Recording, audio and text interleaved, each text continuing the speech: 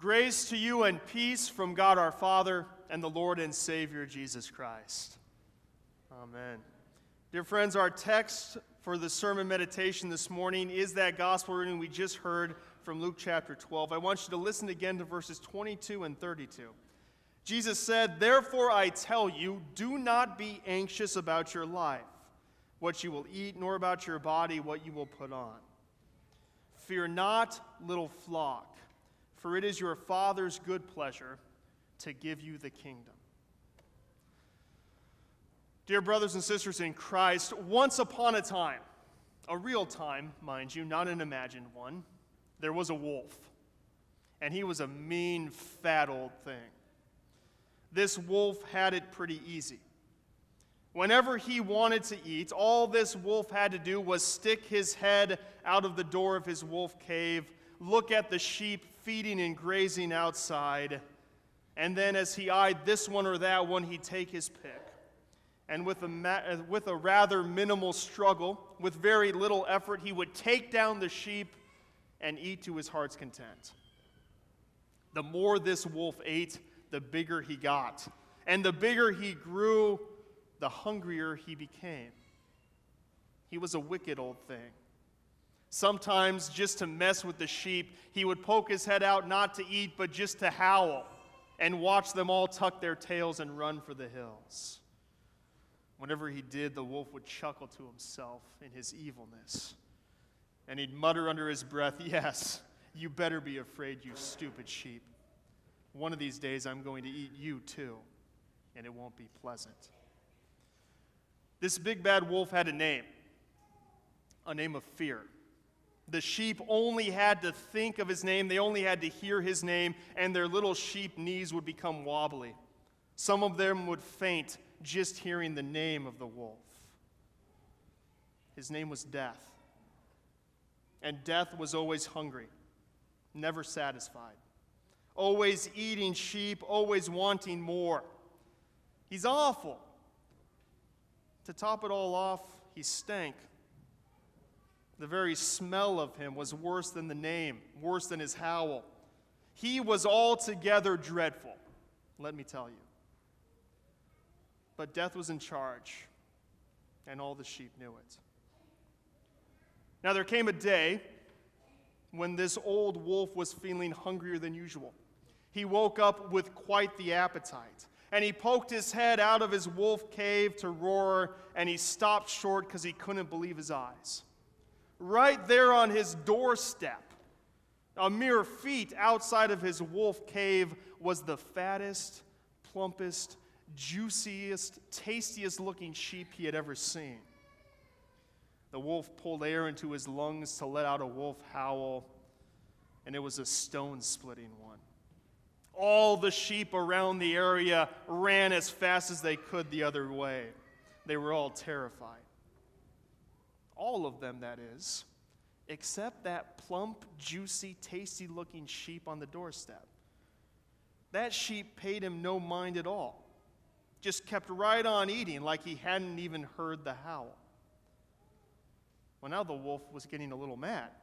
And he came bounding out the door right up into the face of the unmoving animal. And again, he sucked air into his lungs. And this time he breathed it out right into the face of the sheep. The sheep looked up and blinked at the hideous odor of decay that was blasted into his face, but still seemed totally unconcerned, just staring right into the face of the wolf. Well, at this, the wolf was starting to get himself into a tizzy. Don't you know who I am? He snarled. The sheep looked at him and said, Yes, I know.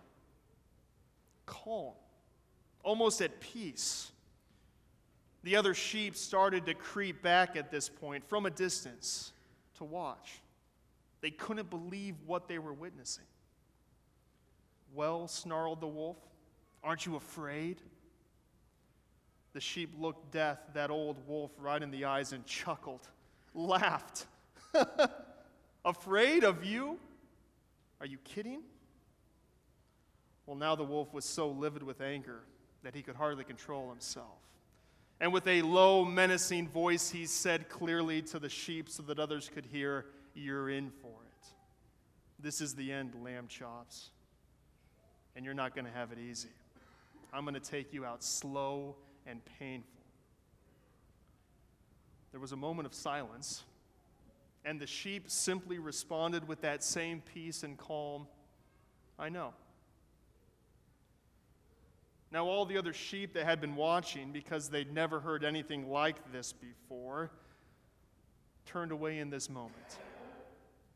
For the wolf pounced, and they hid their eyes. A great sadness filled them. For the other sheep had hoped, they just dared to believe that maybe this once the wolf wasn't going to get his way. But their hopes were dashed. It was an awful, ugly sight the wolf chowed down.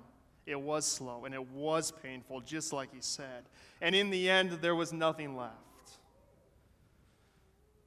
The wolf turned his rude, red with blood face to the other sheep and he belched. And they all, with tears in their eyes, turned and ran, knowing that he'd be back for them one day soon. With all this, the wolf turned and went back into his cave, taking out a toothpick to clean the lamb out of his teeth.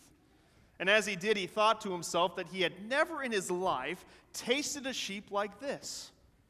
He'd never tasted a sheep quite so good before. It was tender and rich and really altogether satisfying. This hit him with surprise and scared him a little bit. It was almost as though his insatiable hunger had been quenched for once. The thought was a little disturbing. But no matter, the wolf decided, and off he went to bed. When morning came the next day, the wolf wasn't feeling quite himself.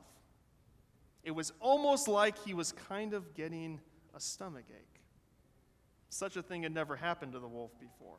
He always woke up ravenous and hungry went off eating a dozen or so sheep before the dew was off the grass. But not this morning.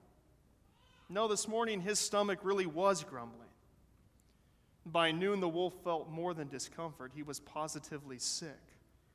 This one who had brought such pain on all the poor sheep was now getting a taste of pain himself, and it was most unpleasant. As he laid there in pain, he kept thinking back to the impertinent sheep that he had eaten yesterday afternoon, the one that had tasted so strangely good. Could it have been poison? Now, it wasn't long before the wolf stopped thinking altogether. The pain was just too great. He rolled around and moaned and howled deep into the night on the floor of his wolf cave. The sheep heard the sounds and didn't know what to make of it all. They crept cautiously nearer and nearer to the door of the wolf's lair, turning their sheep ears to listen. What could it mean? What was going on? It was sometime deep into the dark of night that the wolf let out a shuddering howl for something he was convinced was alive and moving inside of his belly something that pushed and poked and prodded until finally it happened. With a sudden burst, the wolf's belly was punctured and ripped open with a great hole. And something, rather someone, stepped right out through the hole of the wolf, right out through his now open, stinking stomach. The figure that stepped out of the wolf's belly was completely unknown to him. It almost looked, thought the wolf, like a shepherd. He'd never seen one of those critters, but he'd heard about them. With a staff in his hand, this man, who was indeed a shepherd, walked around and leaned down over the wolf, and he began to laugh. He laughed, and his laughter burst open the door of the wolf's cave. He laughed, and the sheep outside were filled with, be- with bewilderment, wondering what in the heck was going on in there. He laughed and then he looked the wolf right in the eyes. So you don't recognize me, old foe. It was I, I who ate outside your house three days ago. It was I who you promised would die horribly, and oh, how you kept your promise. But what exactly do you propose to do about me now? The wolf gasped You. The voice was the same. He recognized it. This shepherd was indeed that sheep whom he had swallowed down. You, but, but how? The wolf said, howling in pain. The shepherd smiled and said, Well, I think you're pretty harmless now, old foe. Go ahead and try to eat my sheep. I promise you that as fast as you eat them down, I will lead them right out through that hole that I've ripped in your stomach. And then you'll never be able to touch them again. The wolf howled in fear and anger and rage, but there was nothing he could do. The shepherd had won, tricked him, fooled him good. And with one last bit of laughter, the shepherd turned and stepped outside the door and called all of the sheep together. They knew his voice too, for they'd also heard it before. And the sheep stood before this lamb who had become their shepherd, and they listened as he told them what would happen. You too will die, he said. The old wolf will come back out in a few days, and he'll be hungrier than ever. He'll swallow you down. But don't worry. Have no fear, little flock. For I punched a hole right through his belly, and I promise that I'll bring you out again. Dear friends, Jesus says to us today in Luke chapter 12, repeatedly, a couple of times in a couple of ways, do not be anxious about your life. Do not worry. It's a hard thing to hear, for there is a lot to be anxious about. I don't need to tell you, you're well aware. We're anxious and worried about normal everyday stuff. You know, bills, taxes, appointments, deadlines, work, school starting.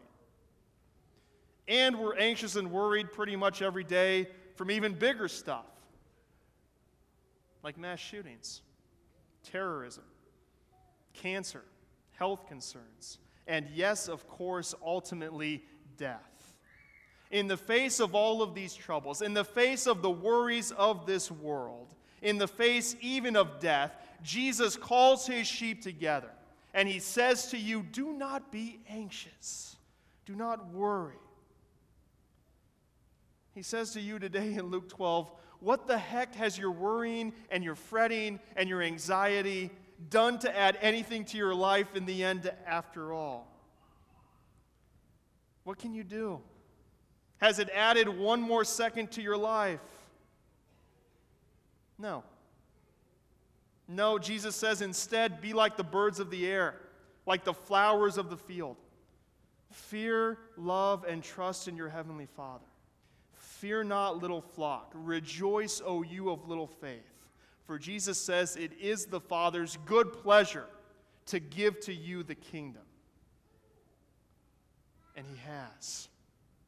He's given you the kingdom, just like we watched him do with little Dominic this morning. Salvation is yours.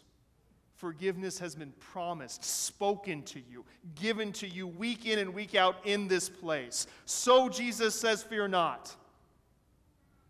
Instead, rejoice. Take comfort in his resurrection.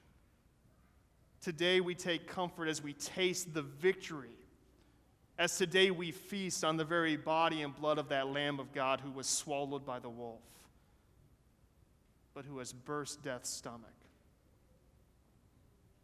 So, dear friends, indeed rejoice. Do not be anxious. Fear not, little flock, for the victory, the victory that nothing can take away, that moth and thief can't destroy or ruin, that victory, that salvation is yours in Him.